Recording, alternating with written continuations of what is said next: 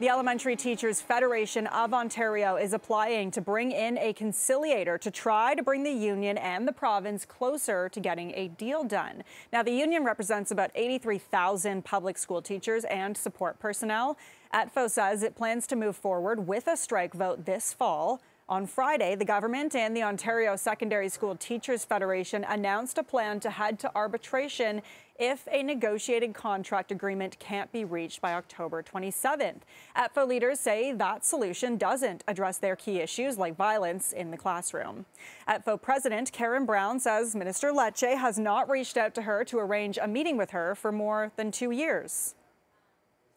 Minister Lecce's offer to meet every day is a hollow soundbite much like its government's so called historic investments in public education that results in cuts.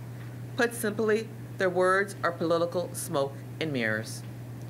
You can be present at the bargaining table forever, but if you aren't prepared to offer anything or move off your positions or even have an actual discussion, being at the table won't magically result in a deal.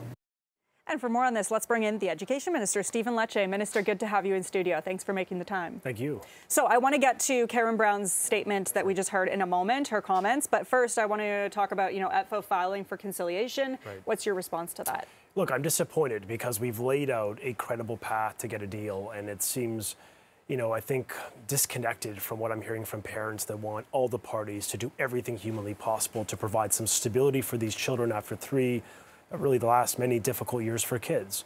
Their priorities must triumph here. And what we've done is we've offered to ETFO to do, use private mediation to force all the parties to get a deal. They rejected that. We then said, okay, let's try and let's offer another olive branch. Let's keep negotiating for the next few months.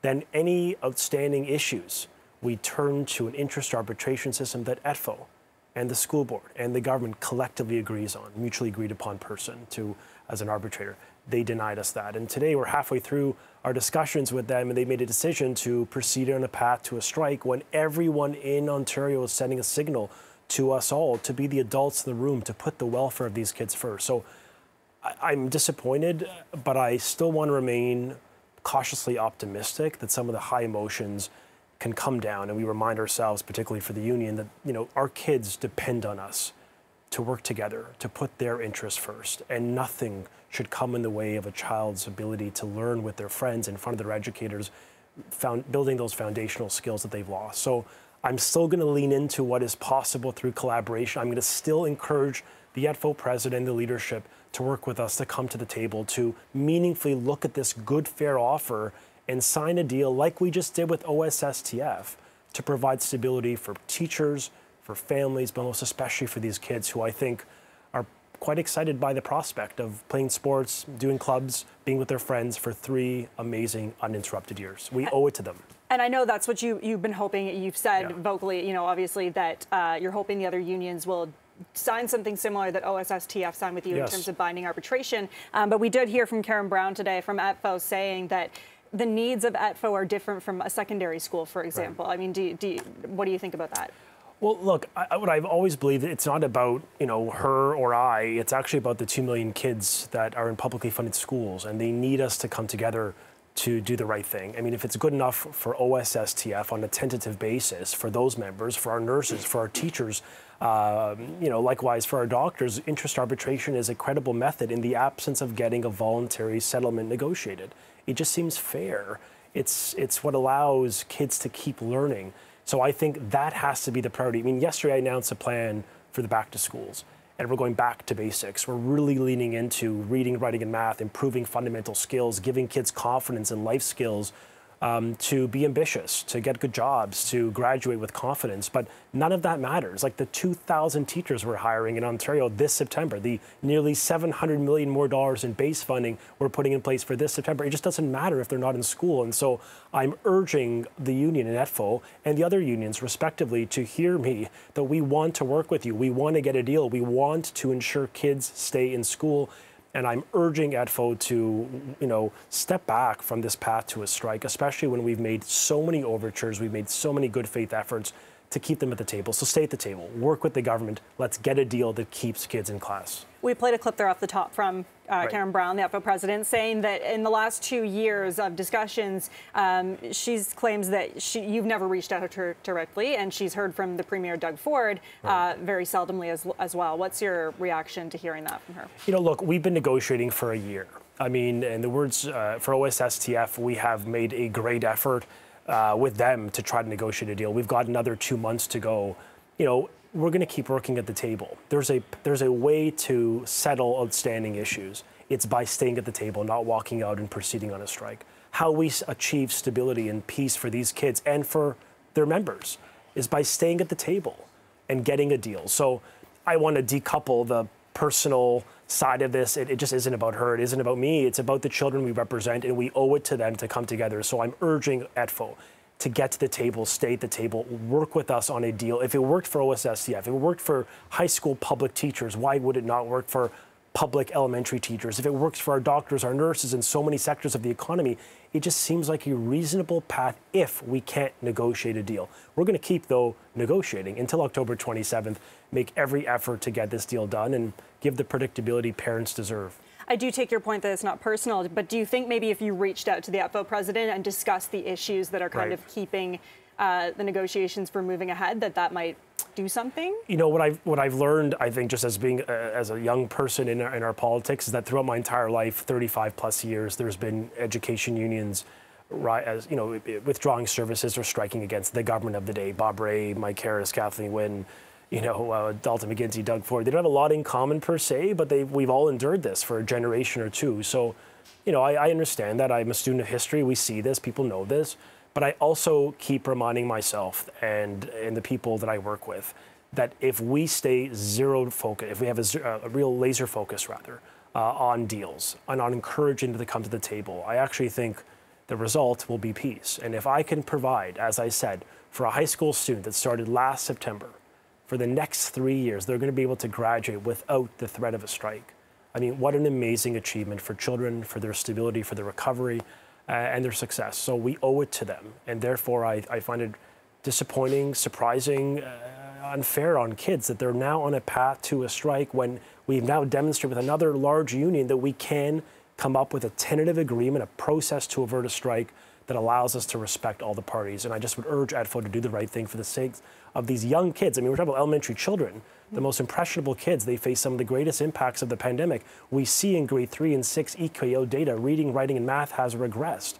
We need them to stay in school. We need them to benefit from our new language curriculum that introduces phonics and cursive writing um, and critical thinking skills. We need them to benefit from 2,000 more educators and 700 million more dollars of funding, but they need to be in class. And that's our, that's our mission, that's our priority. Okay, I want to switch gears now and just talk to you about something that some comments that you've made that have garnered a lot of attention. Uh, when we're talking about you know children in school and pronouns, gender identity, this comes after an Angus Reid survey that was released uh, on you know children's pronouns. Um, you said that parents must be fully involved if their child chooses a different pronoun at school. Uh, now, I want to get some reaction first. We've been we've been getting reaction from people, including the former Premier Kathleen Wynne, on this topic, um, and I want to play that first for you. So we'll just take a listen. this policy could put children at risk. Um, as PFLAG has said, uh, if a child is not ready to tell a parent that he or she is thinking about who he or she is, um, who they are, um, then you could put that child at risk by disclosing that in a form letter to uh, a parent. And you know, for some kids, school is the safest place in their lives um, because home is not safe, because parents are homophobic or transphobic, and the, the children know that. So, what do you think? I mean, is that Yeah. still your opinion that you believe uh, parents must know, and and you know, uh, uh, if a child wants to change their pronouns or their their sure. gender, what are your what are your thoughts? You know, I, I, I look at this and I come at this from a really uh, place of compassion uh, for those kids and for the families impacted. I mean, these are these are kids. These are human beings. They deserve dignity and respect. We have to treat this with the respect this sensitive matter deserves. My point, simply and broadly, uh, is that I believe most parents live for their kids, love their kids, would do sacrifice and do anything for their children. That the instinct of the overwhelming majority of parents in the province is to support their children through difficult decisions that they may make or experiences they may have. And therefore, if that is the instinct, my hope is that we can be transparent to empower parents to support their children. I don't want scenarios where you know, we're not being transparent. And that could lead, that lack of engagement or collaboration with the parent to support the child could lead to health implications for those kids. We're aware of some of the mental health challenges and others that deal with some kids from the broader community. So I just think engagement is important. But I will say, just dealing with the issue of safety, you know, our educators do great work in our schools. They have, they're trained to understand if, if there is, God forbid, risk in a small minority of, of cases at home where homes may not be safe places. They know exactly what to do, who to turn to, to ensure the safety of that child. That would continue tomorrow as it did yesterday. So my priority is just ensuring that they are supported by their families and more importantly, that their parents are given an opportunity to support their kids. And that transparency, I think, is important. Some child, some children might not be transparent about what's going on at home, though. You know, in terms of maybe having an abusive parent or guardian, for example. Mm-hmm. Um, school boards and and you know teachers might not know about that. So, mm-hmm. is it not maybe up to the child to determine their level of safety at home? Yeah, the safety of children is what matters most. It's what I said yesterday when I asked. I led with that message the safety of the child, every school, every kid has to feel safe and confident that they could be who they are. Uh, my point simply is to make a case as a, as a sort of broad policy position. I think parents want to support their kids and they've got to be aware, fully aware what's happening in the life of their children. We're talking about, you know, for some of our elementary kids or young kids in high school. Uh, I think parents feel like they need to be aware of what's happening in their kids' life if they want to help them succeed keep them mentally and physically safe. And so I take a you know different position than obviously uh, others, but I think a lot of parents just want to know, be in the know because they support and love their kids. And if we can really ensure that in the schools they are supported, they are affirmed, they are safe, we respect the rights of parents, we ensure they're aware and informed of what's happening to their kids. I actually think we could ensure the greatest safety and the greatest success for children. That's my number one priority. Every child should feel safe every child should feel respected. We've seen some gender and pronoun policies adopted in other provinces like Saskatchewan, New Brunswick, uh, where students who are under the age of 16 must actually have the consent of their parents mm-hmm. to change their pronouns or given names at school. Is that something we can expect in Ontario? You know, what I've simply said is that we think parents need to be more in the loop. They need to be more aware, fully aware of what's transpiring in the life of their children. Uh, I made that clear as minister. I think that's important for school boards to hear that message. Uh, I think at the end of the day, the more we empower parents to support their kids, the more successful their kids will be. And that's a broad message I'm sharing with school boards in Ontario. But I, I do want to emphasize safety will always prevail for every child in Ontario. So is that a no then, that there won't be any policies implemented this September in terms of, of that? in our schools? What I'm simply communicating to parents is that we respect their rights, and I'm sharing with school boards the importance of school boards listening to the priority of parents, which is they need to be involved in the life of their children. Okay, Minister Lecce, I appreciate you taking the time to come in today. Thank, Thank you. you.